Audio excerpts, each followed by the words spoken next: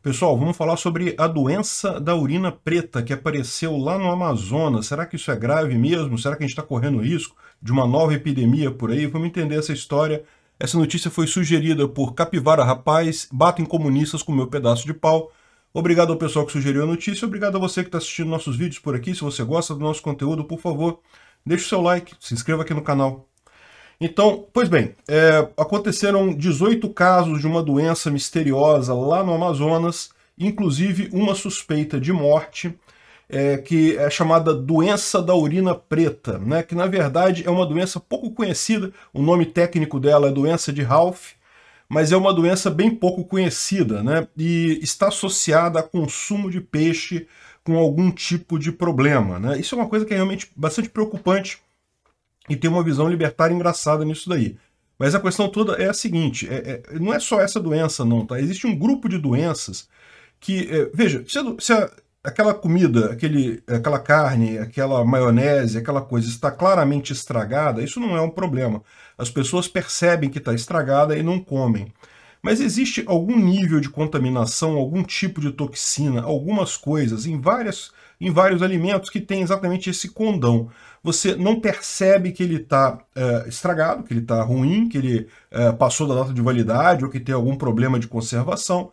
Você come aquilo e, no entanto, você está sendo contaminado e é uma doença bastante grave. Como eu falei, uma pessoa chegou a morrer, outras estão internadas, tem 18 pessoas internadas ainda. Uh, os sintomas começam a acontecer entre 2 e 24 horas após você ingerir o alimento contaminado, e tipicamente é peixe, no caso dessa doença, tá? Estou falando que existem várias doenças assim. Tem doenças que é na maionese, salmonela, não sei o que lá, mas aqui no caso, em alimento enlatado, neste caso específico da doença de Ralph, é peixe. É comer peixe com essa suposta, uh, essa contaminação, que ninguém sabe o que é exatamente, tá? Isso é o grande detalhe. Ninguém identificou ainda se isso é uma toxina, se é um, um verme, se é uma, uh, um vírus, enfim, o que, que é que, que contamina esses peixes, né? Mas bem, então entre 2 e 24 horas após comer o alimento, né, comer o peixe, você começa a ter febre, náusea, vômito, falta de ar, diarreia, dores musculares e dormência no corpo, né? E o problema é que essa, esse negócio ataca os rins, então você tem insuficiência renal também e a urina acaba saindo bem escura, isso é o problema, daí o nome é, urina preta, né, urina negra, é, que justamente é, é, é, é, o problema disso daí, é um, é um dos sintomas característicos desse tipo de coisa.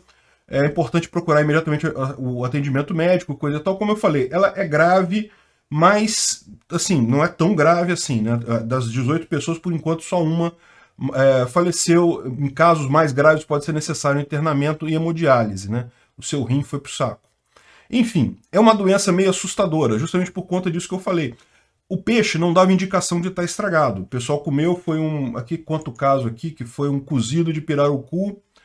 É, não, não foi só um peixe, tá? Foram vários peixes, vários cozidos em vários lugares que deram problema. Mas, segundo o pessoal, assim, não, não davam indicação de ter nada estragado, nada passado da validade, o peixe estava normal e, no entanto, deu essa doença. Isso está causando um problema muito sério lá no Amazonas, porque você sabe, por lá, o peixe de água doce, né, os peixes da região, são uma fonte importante de alimento. Muita gente come, eh, o peixe é o principal, a principal proteína que o pessoal come por lá.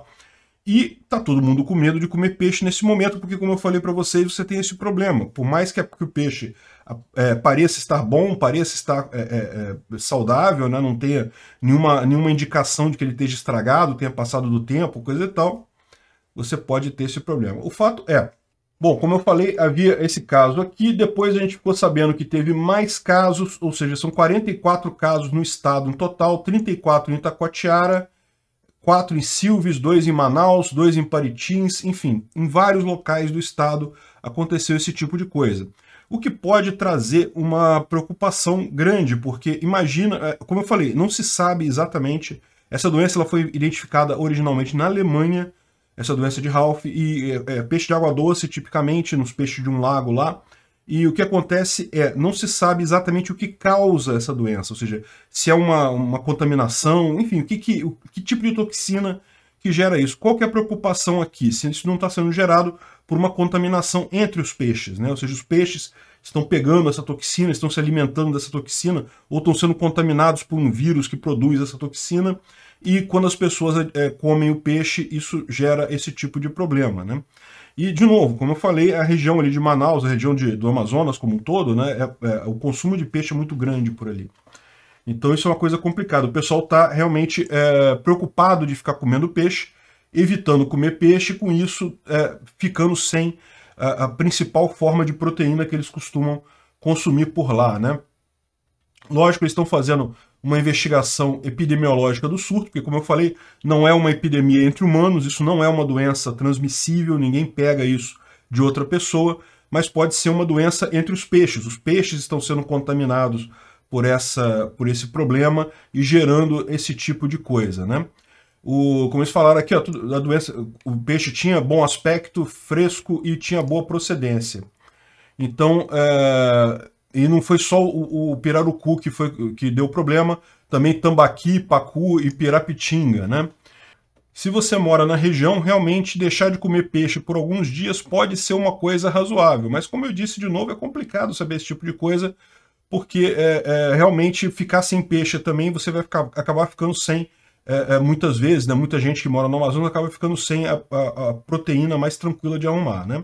Aqui no Sudeste, aqui no Sul, por enquanto não há nenhum relato, não tem nada desse tipo, então é difícil imaginar se isso aí, mesmo que seja uma contaminação entre os peixes, provavelmente isso está acontecendo naquela bacia ali do Amazonas, não, tá, não, não, não se reflete necessariamente aqui pelo Sul.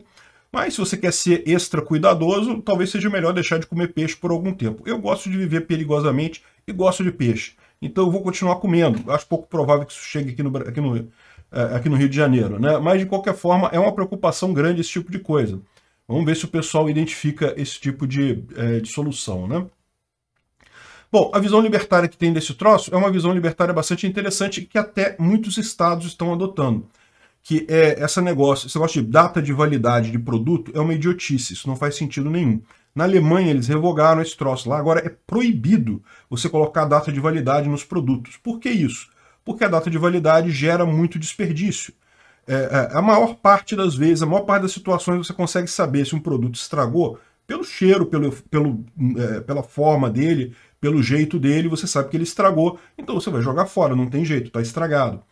É, é, você botar a validade, o que, que acontece? As pessoas jogam fora coisas que ainda estão boas. Mas o pior de tudo é, essa validade é um negócio totalmente aleatório. Não existe uma ciência por trás disso daí.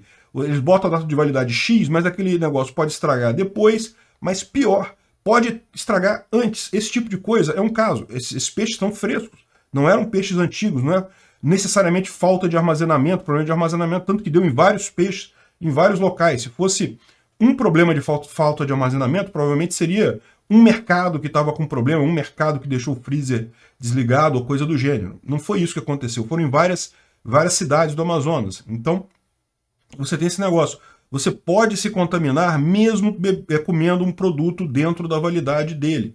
Então, no final das contas, a data da validade ela não impede o risco e, ao mesmo tempo, ela acaba gerando uh, uh, problemas de, de desperdício de, de comida. As pessoas jogam fora coisas que ainda estão boas para consumo. Então já tem vários estados fazendo isso, a Alemanha, por exemplo, tirando essa data de validade.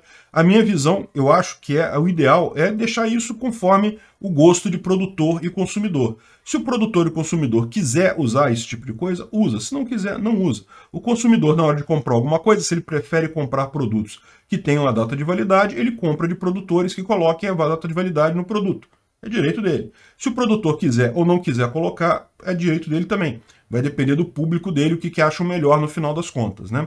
O importante nesse caso é justamente você ter a garantia de que é, não, essa data não quer dizer tanta coisa assim. O pessoal fala como se fosse uma coisa definitiva, e não é. é passada a data de validade, o produto pode continuar bom, ou como ele pode também ficar estragado antes da data de validade. No final das contas, não faz diferença a data. Né? Você tem que ficar sempre é, é, é de olho é, em eventual contaminação, em eventual degradação do produto. E, infelizmente, existe um risco subjacente, como a gente viu aqui, de doenças que, mesmo que o produto esteja na validade, tudo certinho, tudo bonitinho, coisa e tal, ainda assim você pode se contaminar. Viver é um negócio meio perigoso mesmo. Se chegou até aqui e gostou do conteúdo, clique no like e se inscreva no canal. Isso me ajuda e ajuda também a causa da liberdade, pois o YouTube vai passar a recomendar mais os meus vídeos e vídeos com temas libertários para você e para outras pessoas. Considere também clicar no sininho e pedir para ser notificado de novos vídeos. Caso queira sugerir uma notícia para falarmos aqui, é só ir no nosso site https ancap.su, clicar lá em sugerir uma pauta, colocar o link da notícia, pode acrescentar alguma informação se você quiser. Eu agradeço a todos que nos ajudam a fazer este programa.